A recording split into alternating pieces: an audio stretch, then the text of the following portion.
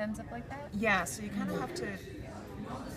What I figured you have to do is Yeah, I was teaching yesterday. I was teaching on, and then go through two, and then go start doing the next part of the, the turquoise. So we add that there, and then we go through the turquoise. See? See that? Yeah. And then and then you start adding your bead and go through the next turquoise. So this is where you could pick up a different color, or yeah, if you want. Yeah.